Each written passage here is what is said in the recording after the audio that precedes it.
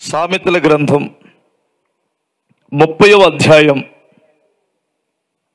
ఇరవై నాలుగు నుండి నేను చదువుతున్నాను వినండి. భూమి మీద చిన్నవి నాలుగు కలవు అయినను అవి మిక్కిలి జ్ఞానము గలవి. ఏంటివవి? చీమలు బలము లేని జీవులు అయినను అవి వేసవిలో తమ ఆహారమును సిద్ధపరుచుకును చీమలు బలము లేని జీవులు. వాటిని చూసి మనం ఏమి నేర్చుకోవాలి? చీమలు చూసి ఏమి నేర్చుకోవాలి? చీమలకి చీమలు చూసి మానవుడు ఇప్పుడు ఏమి నేర్చుకోవాలంటే చీమలు కాలమును ఎరిగిన జీవులు. ఏంటి చెప్పండి? కాలమును ఎరిగిన జీవులు. వాటి మెదడు ఎంత ఉంటుంది చెప్పండి మా నోట్లో నుంచి వచ్చే చిన్న తుప్పరన్న ఉంటుందా? తుప్పరంతా ఉంటుందా? ఉండదు. అసలు ఎప్పుడైనా దాన్ని సేమ్ మెదడు చూసారా మీరు? నేను ఒకసారి చిత్తకొడి చూశాను. సారీ లేనిపోయింది ఎవరు అర్థం చేయకండి. మనుషులను చంపిన వాళ్ళకి వెళ్ళి ఇప్పుడు ఏం లేదు కానీ జంతువులు చంపితే పల్లె అరెస్ట్ చేస్తున్నారంట. స్తోత్రం చెప్పాలి. గమనించాలి. ఎందుకంటే దాని మెదడు ఎంత ఉంటుంది? అసలు దీన్ని ఎలా నేర్చుకోమన్నాడు? చూస్తే ఫుల్గా వచ్చింది బుడింగిని వచ్చేసింది ఒకసారి ఎక్కడికి సింగపూర్ ఒకసారి వెళ్తే మన వైజాగ్ వైపు నుండి వెళ్ళినటువంటి ఒక అబ్బాయి పాపం అక్కడ లారీ కింద పడిపోయాడు. లారీ కింద పడిపోయాడు. పడిపోతే ఆ టైంలో ఆ అబ్బాయి మెదడు కింద పడినప్పుడు అక్కడ ఒక ఈ- ఈ ఊడ్చే వాళ్ళు అక్కడ పనిచేసే వాళ్ళు ఉంటారు కదా ఆమె ఒక కవర్కి ఎత్తితే ఒక కేజీ సుమారు వచ్చింది మెదడు వాడికి ఎంత వచ్చింది? ఇంత పెద్ద మెదడు ఉన్నటువంటి వాడికి ఇదిగో ఇంత చిన్న రవ్వంత వస్తుంది. దాని మెదడు దీన్ని చూసి నేర్చుకోమన్నాడు. కారణం ఏమిటంటే కాలము నెరిగి అది పనిచేస్తుందంటే దాని అర్థం ఏమిటంటే మీకు జ్ఞాపకం చేస్తాను వినండి. దానికి వర్షాకాలం తెలుసు వేసవికాలం తెలుసు ప్రతి కాలంలో ఏ పని చేయవలనో దానికి బాగా తెలుసు. ఇప్పుడు మరి నేను ఎందుకు చెబుతున్నాను? మాకు కూడా తెలుసు పాస్టర్ గారు. ఇప్పుడు రేపు ఇప్పుడు ఇది చలికాలం అయిపోతుంది. రేపు వేసవి కాలం వస్తుంది. ఇది అయిపోయిన వెంటనే తొలకరు వస్తుంది. మేము పొలం దున్నించుకుంటాం. విత్తనాలు వేస్తాం. మాకు మాత్రం ఎందుకు తెలియదు నీకు తెలిసేది ఏంది? పిచ్చోడా. అర్థమవుతుంది ఇది పిచ్చో అరతెక్కలోడికి కూడా తెలిసింది వర్షాకాలం వచ్చిందని అది కాదు నేను అంటుంది. యహోవా దొరుకు కాలము. నీకు తెలిసిందా అంటున్నాను. అర్థమవుతుందా? దేవుడు దొరికే కాలం ఒకటి ఉంది స్తోత్రం చెప్పు. గట్టిగా చెప్పాలి. నీవు కృప చేత రక్షింపబడి కృపాకాలము ఒకటి ఉంది. దేవుడు దొరికే కాలం ఉంది. సువార్త దొరికే కాలం ఒకటి ఉంది. ఈ సువార్త ప్రకాశం మీ మధ్యలోనికి వచ్చి ప్రకాశింప చేస్తున్న దేవుడు ఈ సువార్త ప్రకాశము నీకు అర్థమవుతుందా? ఎంతమందికి అర్థమవుతుంది? హల్లెలూయా! రేపు నీది కాదు అనే సంగతి నీకు తెలుసా?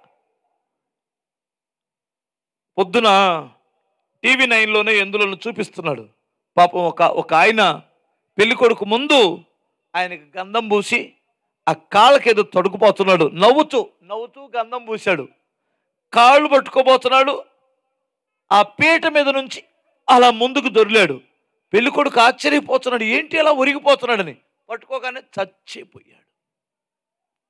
చచ్చిపోయాడండి. ఇప్పుడు నేను మీ దగ్గరికి వస్తున్నప్పుడు జహీరాబాద్ నుండి మధ్యలో ఇదే రూట్లో ఒక అబ్బాయి ఈ ఊరు అతను జహీరాబాద్ అతను నాకు తెలియదు నాకు తెలిసి ఈ ఊరు అతను అయి ఉండొచ్చు. ఇంక ఈ ఊరు ఉందా ఇంక మధ్యలో ఇంక పైన మధ్యలో ఏమైనా ఊర్లు ఉన్నాయా? ఉందా? ఆ ఊరో ఈ ఊరో తెలియదు కానీ ఒక అబ్బాయి స్కూల్ వ్యాన్కి కొట్టేసి బైకు అక్కడే స్పాట్ డెడ్ ఆ రోడ్డు మీద పడుకోబెట్టారు. నేను ఇప్పుడు చూసి వస్తున్నాను. అంటే ఇప్పుడు అతడు గమనించండి. అతడు నాకు తెలిసి అట్నుండే బయలుదేరాడు. బస్ ఇటు నుండి వెళ్తుంది. అతను ఒక రెండు నిమిషాల ముందు చనిపోతాడనే ముందు తనకు తెలియదు నేను ఈరోజు చనిపోతాను అని. తెలుసండి? గమనించాలి. ఒకవేళ భార్య ఫోన్ చేస్తే హలో దగ్గరికి వచ్చాను వస్తున్నాను. నీ కొరకు ఏం- తెమ్మన్నావు? బజ్జీలు తెస్తున్నాను. అని ఉండొచ్చు. పిల్లలకు కొనుక్కొని వస్తున్నాను. పిల్లలకు ప్రూఫ్స్ తీసుకున్నానులే వస్తున్నాను దగ్గరికి వస్తున్నాను అని ఉండొచ్చు. అర్థమవుతుందా? ఆ అబ్బాయి చనిపోయే సంగతి పాపం తెలియదు ఒక యవనస్తుడు ఇప్పుడే చనిపోయాడు. మీరు గమనించండి రేపు మనది కాదనే సంగతి తెలుసా? రేపు మంది కాదనే సంగతి మీకు తెలుసా? ఇంకా నువ్వు బాప్తిస్తాలకు ఎందుకు వాయిదాలు వేస్తున్నావు? ఇంకా ఎందుకు రక్షకుడిని తెలుసుకోవడానికి క్రీస్తునందు విశ్వాసం ఉంచడానికి నువ్వు నీతి మార్గాన్ని తెలుసుకోవడానికి నీతి యొక్క ఆ రక్షణను పొందుకోవడానికి నువ్వెందుకు వాయిదాలు వేస్తున్నావు? దేవుడు ఆయన సిద్ధపరిచిన రక్షణను గుర్తించిన వారు ప్రపంచవ్యాప్తంగా అనేక మంది ప్రజలు ఇప్పుడు క్రీస్తును వెంబడిస్తున్నారు. హాలలోయ ఎంతమందికి అర్థమవుతుందో? స్తోత్రం చెప్పండి. నేనొకప్పుడు నేనొకప్పుడు బాగా లోకస్తుడుగా పూజల్లోనూ రకరకాలైనటువంటి లోకం లోకములో ఉన్నప్పుడు నేను అప్పులైపోయి చనిపోదాం అనుకున్న టైంలో ఒకే ఒక్క రోజు నా ప్రభు నాతో మాట్లాడారు. నువ్వు ఈరోజు చనిపోబోతున్నావు కదా మరణదూత వచ్చింది. ప్రార్థన చేసుకు వారి దగ్గరికి వెళ్ళు బ్రతుకుతామని చెప్పాడు. ఒకే ఒక్క మాటతో నేను వెంటనే ప్రార్థన చేసే వారి దగ్గరికి వెళ్ళాను. నా పాపాలు ఒప్పుకున్నాను. నేను యేసు ప్రభుని రక్షకుడిగా అంగీకరించాను. చాలా మంది ఒక మాట చెబుతారు గొడ్డుకొక్క ఏంటి? గొడ్డుకొక్క దెబ్బ మనిషికైతే ఒక మాట. ఎన్నిసార్లు విన్నావు వాక్యం? ఐదుగురు పెనిమిట్లు ఉన్నారు నీకు. ఉన్నవాడు కూడా నీ వాడు కాదు. నిన్ను నీళ్ళు అడుగుతున్నవాడు ఎవరో నీకు తెలిస్తే ఇప్పుడే నీళ్ళు అడుగుతావు జీవితంలో మరలా నీకు దాహం కాదు. ప్రభువా అయితే ఇచ్చేయి. నీకు ఒక్కదానికి ఇస్తే సుఖమేంటమ్మా? వెళ్ళి నీ భర్తను కూడా తెచ్చుకో అన్నాడు. వెంటనే ఆ కొండ అక్కడే పగలగొట్టేసి నేను చేసినవన్నీ నాతో చెప్పిన దేవుణ్ణి సృష్టికర్తను నేను చూశాను. ఆ మెస్సియాను చూశానని ఆ రోజు తన పాపాన్ని విడిచిపెట్టి ఆమె మాత్రమే కాక గ్రామాన్ని కదిలించి తీసుకొని వచ్చింది ఒక మహాతల్లి. స్తోత్రం చెప్పగలరా? ప్రిల్లరా మీరు జాగ్రత్తగా వినండి. నోవాకు వాడ వారి మధ్యలో నూట ఇరవై సంవత్సరాలు కట్టబడుతూనే ఉంది. కానీ ఈ ఏమో పెద్ద పెద్ద మ్రానులు అయ్యేమో లేవో అర్థమవుతండి ముగ్గురు యవనస్తులే ఉన్నారు. ఈయనేమో ముసలోడు. ఎవరో? నవాకు ముసలోడు. వాళ్ళమ్మ ముసలమ్మ ముగ్గురు కొడుకులు యవనస్తులు. వాళ్ళ ముగ్గురు భార్యలేమో ఆడోళ్ళు. వారికి ఏమి లేసింది నాకు తెలిసి ఆ మొద్దులు లేపడం అనేటువంటి పెద్ద వాడది. కట్టడానికి అప్పుడు యంత్రాలు ఉన్నాయా? ప్రొక్లెన్స్ ఉన్నాయా? ఏమన్నా మిషన్లు ఉన్నాయా? కొయ్యడానికి ఏమన్నా ఇలా ఇప్పుడు ఇప్పుడులాంటి మిషన్లు ఏమన్నా ఉన్నాయా? లేవు. ఒక్కొక్క మొద్దును నరకాలి. దాన్ని బాగా బాడిసలతో చెక్కాలి. అర్థమవుతుందండి? ఎంత కష్టపడుతున్నారంటే రే కూలిస్తామరా రండి అంటే కొంతమంది కూలికొచ్చేవాళ్ళు కూలికొచ్చేవాళ్ళు కూలికొచ్చి ఆ పని చేస్తా ఆ పని చేస్తా. ఏంటండి నోవా గారు?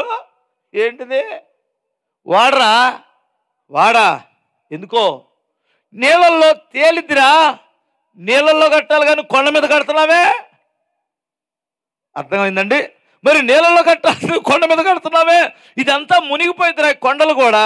ఎవరో బాబాయ్ మొత్తం యేసు ప్రభు వస్తాడంట సమాధులు తెరవబడతాయంట ఇల్లు ఎత్తబడతారంట.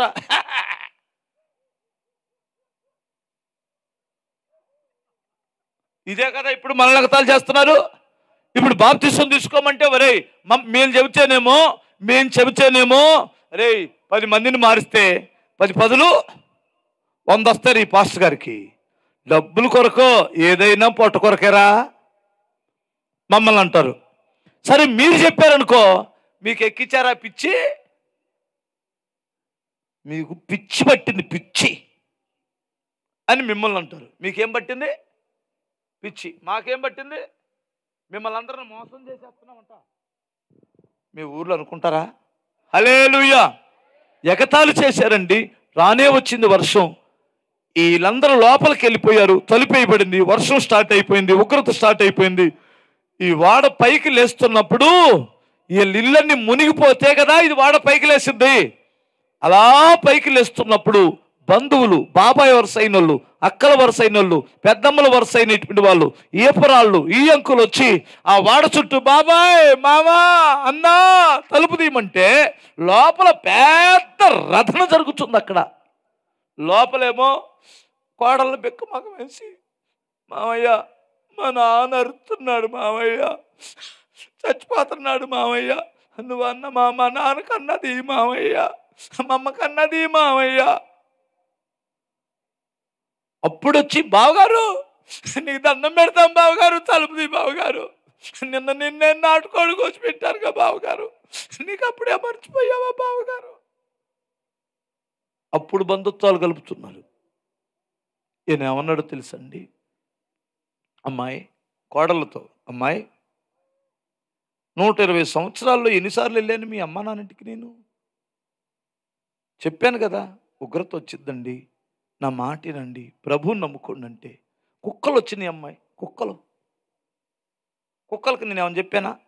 వాటి అంతటికి అయ్యే కుక్కలు వచ్చినాయి అమ్మాయి వాళ్ళలోకి. చీమలు అమ్మాయి చీమలు చీమలు. చీమల్ని మనం ఎప్పుడైనా వాటిని పట్టించుకుంటామా? చీమలు వాటి వచ్చి మీరు చూశారుగా? మీరు చూశారుగా చీమల పైకి ఎక్కడం? పందులు అమ్మాయి పందులు పందులకు అర్థమైపోయింది. లోపలికి వచ్చేసినాయి. ఉగ్రత వచ్చేస్తుందని. టర్కీలో భూకంపం వస్తే ఒక్క కుక్క తెచ్చిందా? మీరు వెళ్ళండి. ఒక కుక్క ఒక పిల్లి ఒక ఎలుక గమనించాలి. ఒక్క పక్షి చచ్చిపోయిందండి? అవన్నీ ముందుగానే వెళ్ళిపోయినాయట. చచ్చింది ఎవడో? మేధావులందరూ చచ్చిపోయారు. అందుకు అరే కుక్కలు చూసి నేర్చుకోండిరా చీమలు చూసి నేర్చుకోండి పందులు చూసైనా నేర్చుకోండి అవన్నీ కూడా ఉగ్రత నుండి తప్పించుకోవడానికి వాడలోనికి ప్రవేశించని పరమాత్ముడైన దేవుడు సృష్టికర్త అయిన ప్రభు రెండు వేల సంవత్సరాల క్రితం నీ కొరకు అవమానపరచబడి ఉమ్మివేయబడి ఏమండి? తన యొక్క అవమానపరచబడి తనకు ఈపంత సాలసాలగా దున్నబడి చనిపోయి నీ కొరకు పరలోక రాజ్యానికి వారసత్వాన్ని ఇవ్వడానికి వారధనిస్తే ఈ వారధల నుంచి తేలిక కృపాకాలములో ఒడ్డెక్కి రారా బాబు అంటే? మా క్యాస్ట్ కదా మా క్యాస్ట్ ఇంకా ఎక్కువ పాస్టర్ గారు మా క్యాస్ట్ వాళ్ళు ఒప్పుకోరు వారధెక్కితే. మా వాళ్ళు ఒప్పుకోరు. ఏమండి? మీకు వారధ ఎక్కడుంది? ఇది ఇది గోదావరికి వారధ కట్టారా? చాలా కట్టారుగా. కట్టారు కదా? కట్టలేదా? కేసీఆర్ గారు కట్టారా? కట్టారు కదా? మరి అవతలకు దాటిపోవడానికి రోగం అండి. ఎవరు కడితేనే నీకు వారధ కట్టారుగా? ఓ నేను టీఆర్ఎస్ కడితే దాటును. అని ఎగిరి దూకు మరి అందులో. ఎవరు కడితే నీకెందుకండి? నువ్వు అవతలకి తేలిగ్గా దాటడానికి ఒక మార్గము దేవుడు ఏర్పరిస్తే నేను యేసుక్రీస్తు కట్టాడు కాబట్టి నేను పరలోకానికి వెళ్ళను. మరి పోతావన్నారు నరకానికి? అందుకని చీమలను చూసి మీరు నేర్చుకోండి. అవి కాలము నెరిగి ఏది సేఫ్టీ ఏది క్షేమమో తెలుసుకున్నటువంటివిగా పనిచేస్తున్నాయి. మీరు ఎందుకు నా పిల్లలై ఉండి ఎందుకు తెలివిలేనటువంటి వారుగా ఉన్నారు అంటాడు ఫస్ట్. ఇప్పుడు మనం చీమల కంటే తెలివి తక్కువ వారమా? కాదు కదా. తెలివైనటువంటి వారం కదా. ఎంత తెలివైనటువంటి వారం. మనం ఎంత పెద్ద మేధావులం. ఏమండి? ఎంత చక్కటి ఇల్లు కట్టుకున్నాం. ఎంత మంచి బాత్రూములు కట్టుకున్నాం. ఈ బాత్రూమ్ దగ్గరికి వెళ్ళాడే పాస్టర్ గారిని చూస్తున్నారా? నేను ఎప్పుడు అది ఆలోచిస్తాను. అసలు గేదెలకు లేవు బాత్రూములు పందులకు లేవు బాత్రూమ్ ఏ జంతువులకు లేవు మనకు మాత్రం శుభ్రంగా బాత్రూములు. ఇంత మేధావి యేసుప్రభు నమ్ముకోడేంట్రా బాబు? విమానములో లేచిపోతున్నామే. ఏమండి? విమానములు లేచిపోతున్నామే. ఎంత చక్కగా ప్రయాణం చేస్తున్నాం ఎంత పెద్ద మేధావులు. పరలోకానికి వెళ్ళాలని ఒక్కడికి కూడా ఆలోచన రావట్లేదేంటి నాయన? మీరందరూ క్రీస్తునందు విశ్వాసం ఉంచి ఉక్కరుతు నుండి తప్పించుకుందురుగాక.